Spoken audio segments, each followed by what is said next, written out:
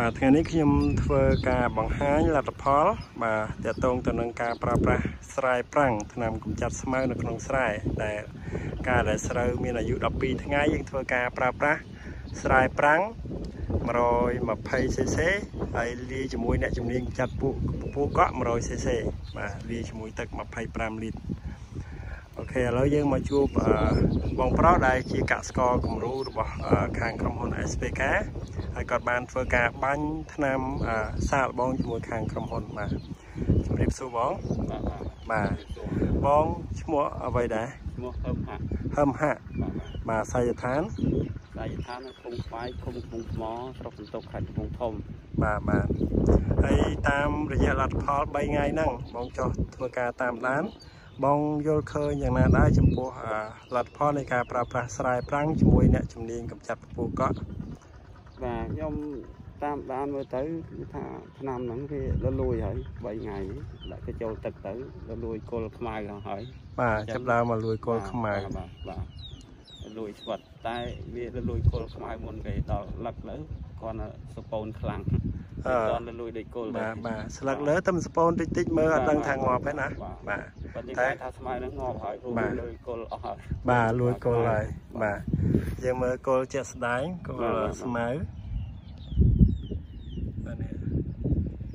ខ្មៅវាខ្មៅគល់អញ្ចឹងខ្មៅគល់បដោបដោអញ្ចឹងបាទបាទបាទចាប់ដើមស្វិតបាទបាទ នេះស្រែប្រាំងបាទថ្នាំដែលយើងធ្វើការបាញ់បាទហើយមានអ្នកជំនាញចាត់ពពុះកក់មួយទៀតបាទប៉ុន្តែកក់ក៏ងាប់ស្អាតដែរកក់បាទអត់ឃើញមករួចទេឃើញ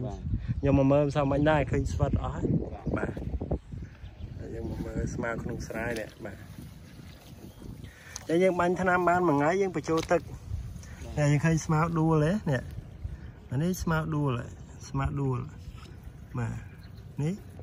អញ្ចឹងវាងាប់លក្ខណៈអញ្ចឹងណាពូបាទអានេះប្រភេទកក់នេះប្រភេទកក់កក់វាភេភេមកវាលួចអស់ហើយបាទលួចអស់ហើយ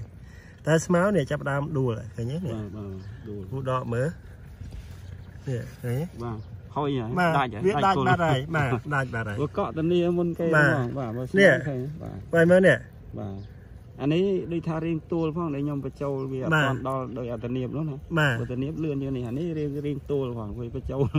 ងាយបានបានទឹកចូលហើយនេះអានោះចូលមុនគេមើលដួលបាត់ហើយកន្លែងមានជាប់ជាប់ទឹកដួលរ៉េលនេះនេះយើងដកមកបាទបាទឃើញហើយបាទឃើញបាត់ហើយដាច់បាត់ហើយ